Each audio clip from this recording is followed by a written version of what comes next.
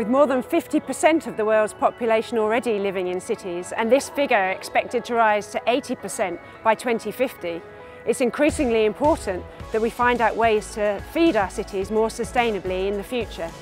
Luckily, cities are not only sites of production and consumption, they're also hotbeds of innovation, with people finding increasingly innovative ways to grow foods in cities, to share surplus food, and to solve issues related to food security and food poverty. ShareCity is interested in finding out the impact of new information and communication technologies, the internet, social media and app technologies in terms of building these activities and whether they have the potential to make urban food systems more sustainable.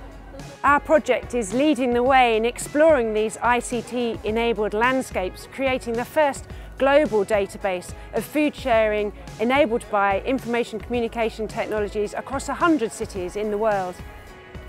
The ShareCity 100 database contains more than 4,000 enterprises around the world which exhibit different forms of food sharing from collecting, gifting, bartering or exchanging for money. In the United States of America, we have many organisations.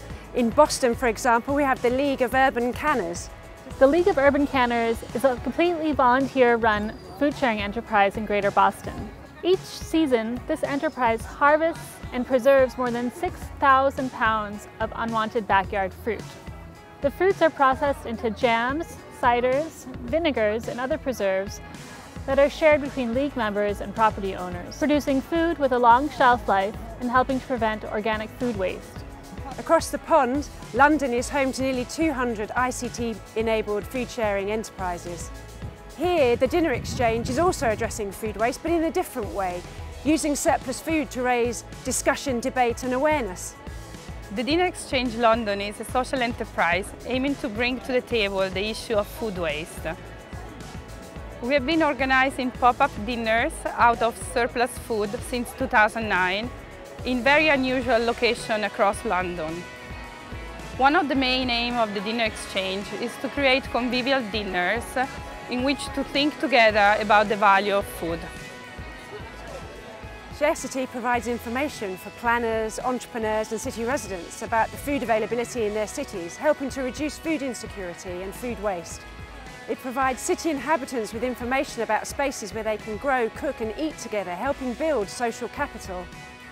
It provides a portal through which skills and information about how to grow food in the city can be shared.